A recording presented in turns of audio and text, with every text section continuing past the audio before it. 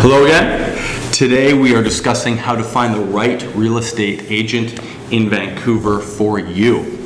So this is a very loaded question. Uh, there are lots of agents now. Uh, there's 14,500 realtors in Greater Vancouver, I believe.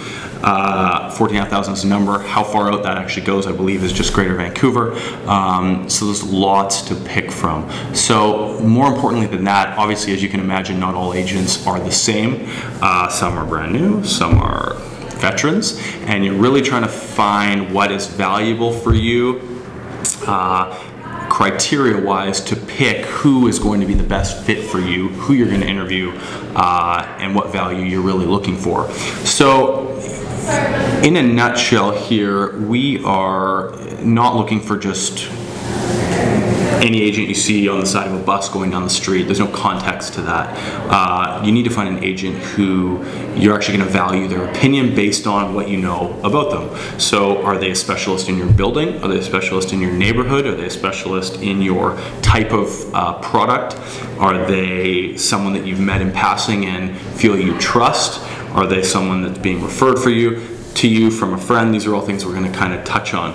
Um, so what to look for uh, in an agent. The main thing here, I think, is looking for someone that you believe what they're telling you can actually deliver. So what's the end result here? You want your product sold for the highest price with the best terms, probably in the shortest amount of time. So let's break that down. How are we going to find this person? Uh, we're going to we want to find someone traditionally who is familiar with what we have. Uh, you don't go to a doctor to get dental work. So we want to find someone who's, if we've got a townhouse in Mount Pleasant, let's say, who is familiar with Mount Pleasant? Let's break that down again. Who is familiar with townhomes in Mount Pleasant? Uh, and these are the, the ways you need to really assess, in, in our opinion, uh, how to select your agent.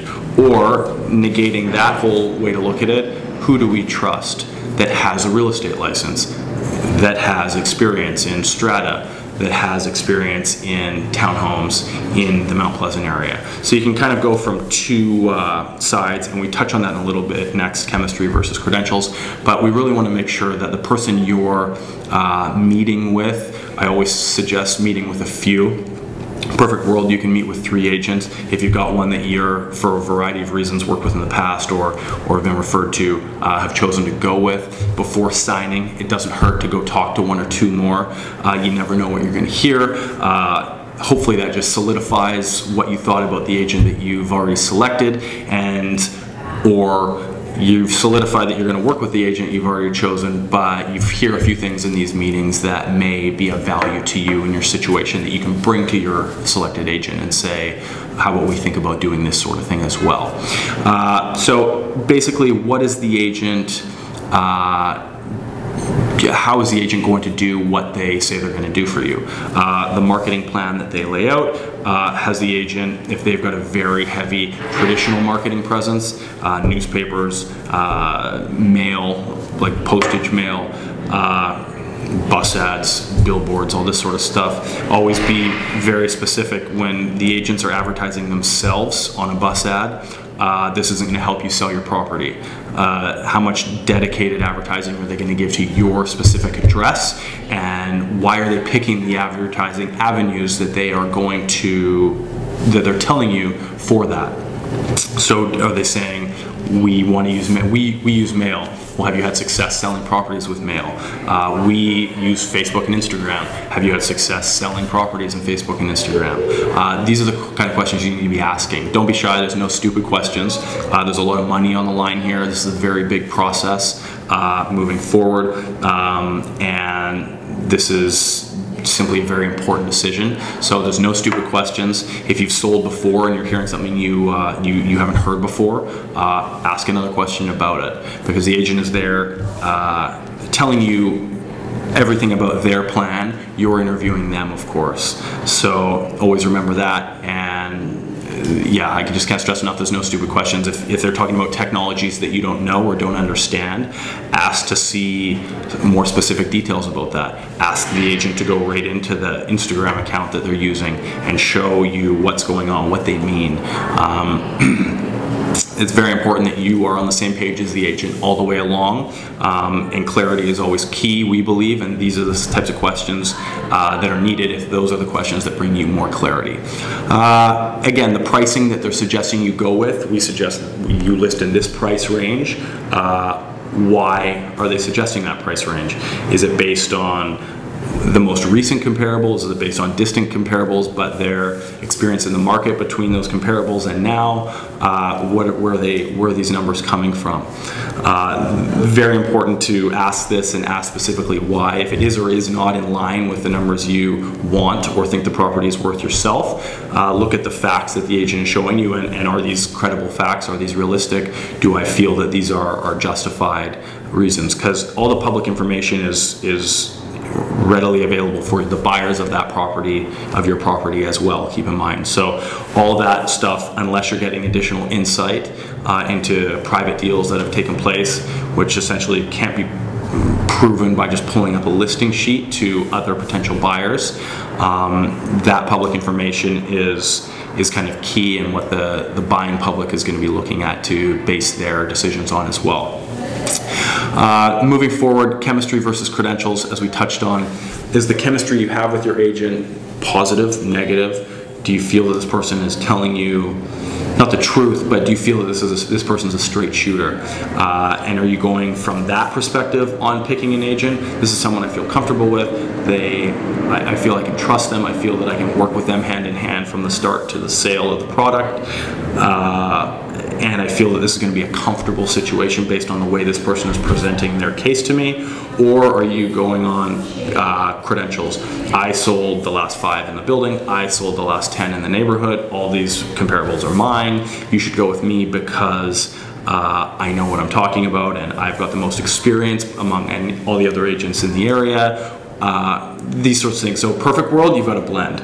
You've got the most qualified agent, uh, and you trust that person, or it's going to lean one way or the other. And is it more important to you to lean on the credential side, or is it more important to you to lean on the uh, chemistry side? And that's something you need to be very aware of, I believe. And as we all have expectations of people we're hiring and paying to do a job, just be very aware of where you're placing the most expectation uh, in those two credentials. Because from my experience, people typically will select an agent based on one of those two kind of directions of, uh, of thought process and focus. Referrals matter. Uh, referrals are of course key. They kind of create a warm contact in this potential agent that you're interviewing. If my brother used them, uh, I trust them now more than I would if I just picked them off of a, an Instagram post or a bus ad or, or an advertising flyer uh, because someone I trust has used this person. So always in anything, referrals matter. Uh, and are key and kind of bring that, that person now into kind of that warm contact uh, arena, if you will, as opposed to just a, a, cold contact stranger that you're sitting across from. And that's always key, and I always uh, suggest putting a lot of weight on those decisions. Um, uh, or more weight on those people, I should say, when they're coming into the mix of, let's say, the three people that you're choosing to interview, because you've already got that kind of assumed level of trust because so-and-so uh, has already used them and had a good experience. Uh, how to tell if you're working with the wrong agent. This again, um, I, I, find really comes back to the whole chemistry credentials, more so on the chemistry side. Uh, if you're not getting the right vibes, for lack of better words, uh, from the agent, if you feel that they're not elaborating as much as they should on the information they're giving you, if they're very difficult to get a hold of, if they said one thing, I'm going to call you every Monday and give you updates and they don't. Uh, it, it, this really goes on the uh, trust factor again and what you're feeling.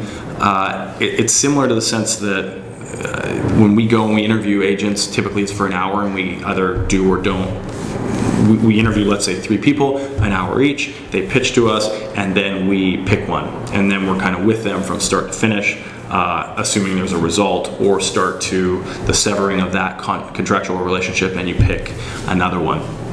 Um, a lot of times, Similar to when you're buying a property and the market's busy, you go into an open house, you see the property for 15 minutes and you spend a million dollars or half a million dollars or whatever it may be. When we look at the, the perspective of that, that's kind of crazy, uh, but that's the way the market kind of works and what everyone kind of has to get up to speed with the market gets used to. But much more so, unlike a house, and it's fundamentally, is this house in good order? Is this house the layout in the neighborhood we want? The agent is uh, fundamentally, is this someone we trust? Is this someone we believe, we're gonna believe the things they tell us about the deal moving forward and the situation. So trust is the biggest thing, and these trust red flags are, are commonly the, the red flags that we see. Um, that, that sever relationships. So you really want to lean on this trust aspect, I think, from the start and really make sure the person is trustworthy in your eyes and based on their presentation to you face to face and the criteria they're giving you to justify themselves as your best option as an agent that you really feel comfortable with that person. Uh, that's it. I'm going to leave it there 11 minutes. Uh, if you have any other questions on this topic, jay at mcinnesmarketing.com excuse me, 604-771-4606. Uh, we're located here in downtown Vancouver. Call us anytime. Love to sit down. Thanks again. Bye for now.